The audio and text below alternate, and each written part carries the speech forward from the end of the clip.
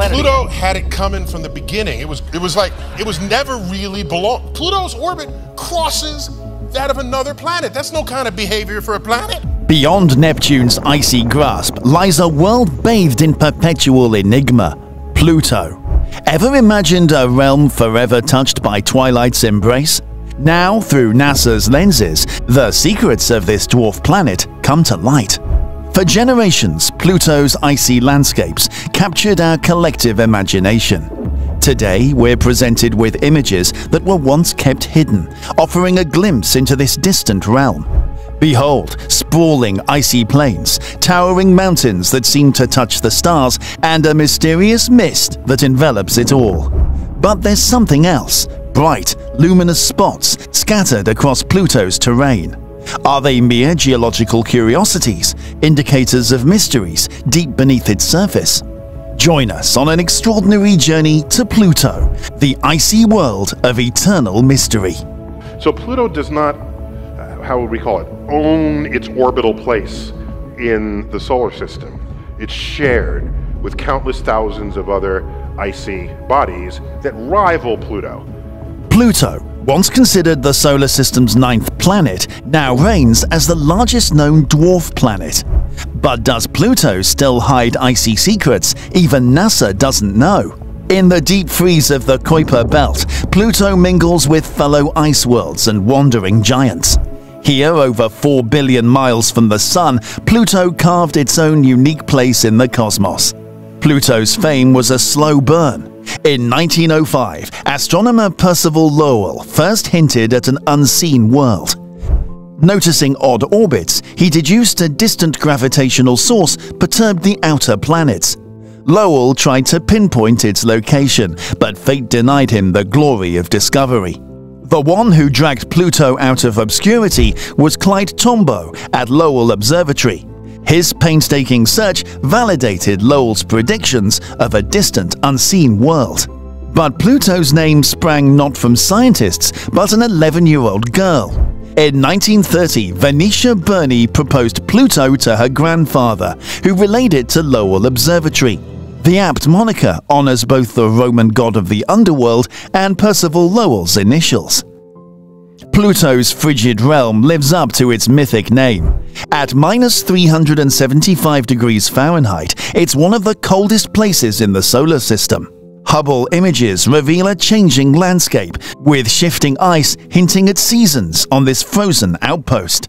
Dwelling a staggering 40 astronomical units from the Sun, Pluto lurks in perpetual twilight.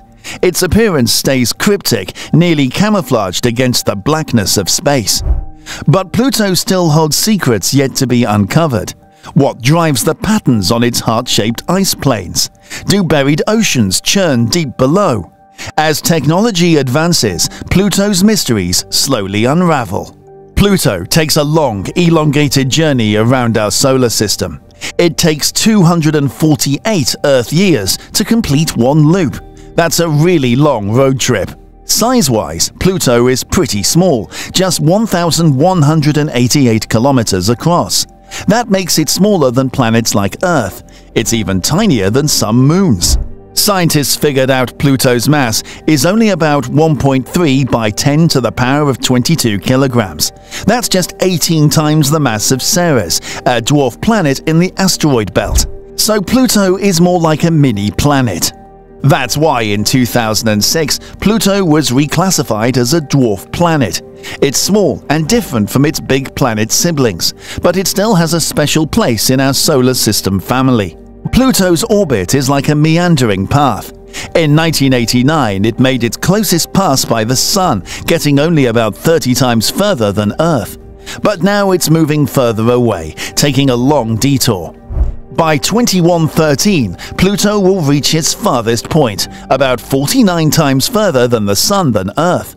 It really wanders far from home. But does Pluto have more shocking secrets to reveal? Being so distant makes Pluto faint and hard to see. Even the powerful Hubble Space Telescope only sees it as a tiny, fuzzy brown disk. We can't make out any surface features. Studying mysterious Pluto is tough, so in 2006, scientists sent a spacecraft called New Horizons on a big mission to visit Pluto. It traveled 3 billion miles to unlock Pluto's secrets.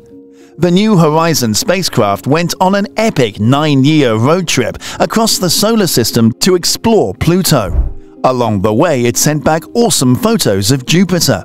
Finally, in 2015, New Horizons reached its main destination, distant Pluto. It was like arriving at a faraway mysterious land for the first time.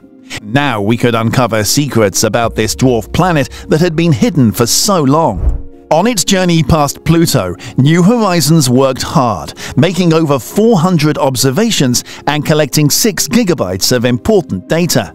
Sending all that info back to Earth took over a year, like a giant digital postcard from across the solar system. The spacecraft didn't orbit Pluto, but did a quick flyby instead, getting a good look before continuing its mission to explore more objects deep in space. Before the flyby, scientists were excited to learn about Pluto's secrets.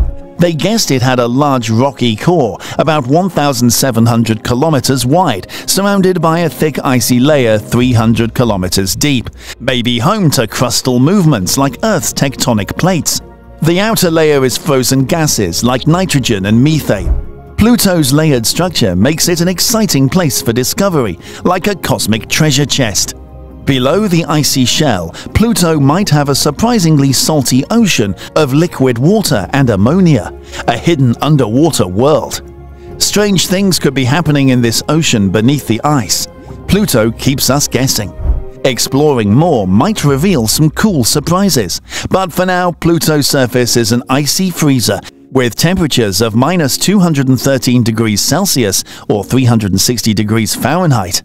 Well, that's cold. Pretty cold, wouldn't you agree? Let's check out one of Pluto's coolest features, the heart-shaped Tombaugh Regio near its equator. This huge area, over 2,300 kilometers wide, looks just like a giant frozen valentine. Inside the heart lies Sputnik Planitia, a smooth icy plain. Its bright surface shines, reflecting sunlight like a magical wonderland. Scientists think around 100 million years ago, a huge collision created a crater here. It filled with Pluto's underground ocean, which slowly froze over time, forming the flat icy area we see today. Some icy peaks tower over 6 kilometers high, the tallest on Pluto. A basin edged with frozen ridges may be an old frozen volcano too. Studying its rocks could reveal Pluto's origins. Traveling east, the landscape changes. More craters dot the surface like marks of ancient history. This older terrain looks different than the younger, smoother heart area. A series of small dark spots form the Cthulhu region, named after mystic beings. The largest dark spot reflects little sunlight, a puzzling shadowy area. Its bumpy, cratered terrain may contain compounds creating its dark color. Far past Pluto orbits Charon, the duo dancing in gravity's embrace. Pluto's ice-clad heart, lit by sunlight, hints at hidden forces shaping this distant world. What forged these hearts and scars? Craggy Charon may hold clues, cryovolcanic remnants, vistas vaster than nations, epic tales etched into ice, awaiting discovery. As Pluto waltzes on into darkening space, its secrets stay locked in cold custody for now. But one day, more light may stream into Pluto's twilight realm, revealing the mysteries held in the furthest reaches of the solar system. However, New Horizons' cosmic voyage won't last indefinitely. Around 2030, this bold explorer's systems will fail in the frigid Kuiper Belt darkness. Power lost, it will drift on alone, its epochal mission complete. New Horizons illuminated Pluto in unprecedented detail, unveiling an icy world where nitrogen dances across exotic landscapes. Though falling silent, its journey immortalized groundbreaking revelations about planet's origins. We will bid farewell to this remarkable messenger at the frontiers of human knowledge. What do you think? Will another probe ever travel as far to explore the Kuiper Belt? How long do you think New Horizons' legacy will last? Let us know down in the comments. Until next time, fellow cosmic explorers,